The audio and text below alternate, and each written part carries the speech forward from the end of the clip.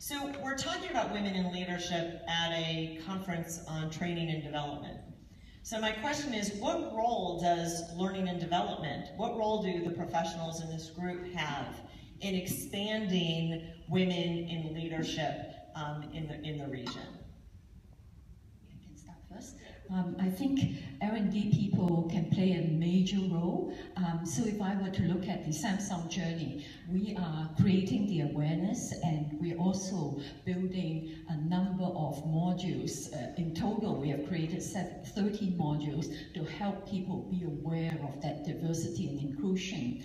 Uh, and particularly for women, uh, there is a, very, very special module with um, a lot of learning there. I, I think having the dream from a, from a start is important, but having the network and the, the, the learning to, to be able to sustain it is equally important. So for example, in America, uh, we have actually started a Soul Sisters club and we invite all the guys to come, you know, and the female, and there's quite a bit of uh, learning from each other.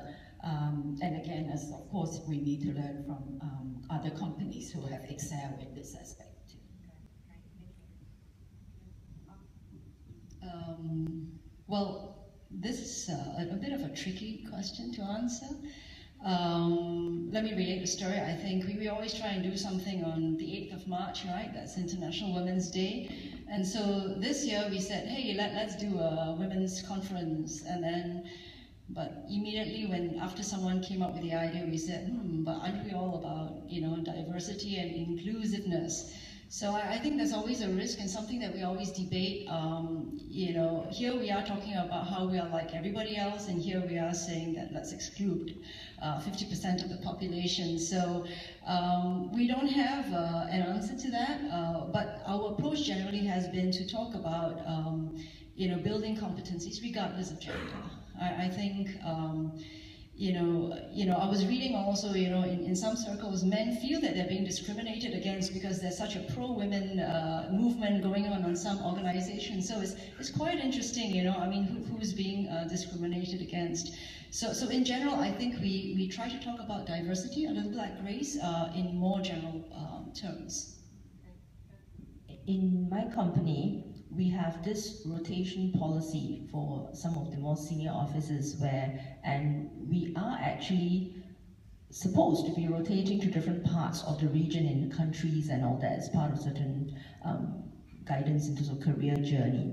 But what I do appreciate is um, we are not discriminated as, for example, mothers with young children because it's difficult for us to relocate to another country to work in the bank. So that is, I think, something which is very deliberate, although it may be maybe a HR or a talent rotation policy within individual companies, which is good, but there's flexibility given to individuals because of their background, family, and all that. And I, I guess from that aspect, the customization is also important for the individual employees of any company.